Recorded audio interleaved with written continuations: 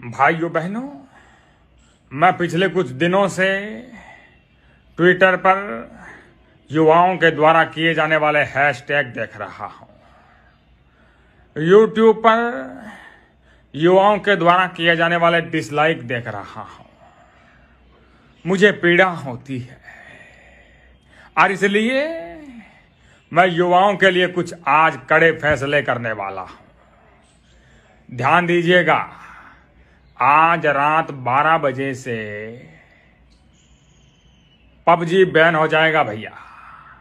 बिल्कुल आप पबजी नहीं खेल पाएँगे। युवा साथियों, पूरे लॉकडाउन में हमने आपके लिए पबजी बैन नहीं किया। पूरे लॉकडाउन में आपको घर बैठे बैठे तकलीफ़ ना हो, इसका हमने पूरा ध्यान दिया। और आज लॉकडाउन खत्म होते ही आप हमें ही तकलीफ़ देने लग गए। ऐसा नहीं चलेगा भैया। और इसलिए यह कड़ा फैसला आपके हित में मुझे करना पड़ रहा है। बहुत बहुत धन्यवाद।